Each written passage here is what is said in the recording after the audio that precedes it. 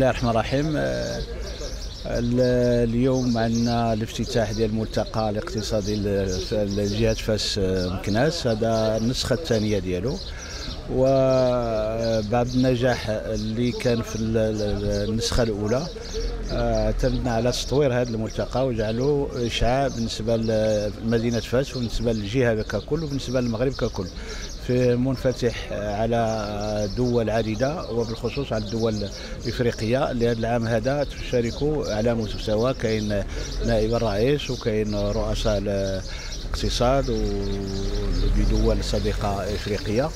وكذلك مقاولات لها يعني استثمارات دولية عبر القارات. آه، نتوخى من هذا الملتقى أننا آه، تكون استثمارات على التراب التراب ديال الجهة اضطراب ديال الجهة وكذلك لخلق مناصب الشغل والدفع بعجلة الاقتصاد على منطقة جهة فاس مكناس. املين أن أن أن نحقق هذا الأمل.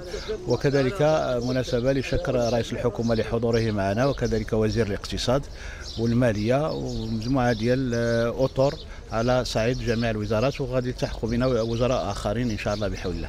شكرا.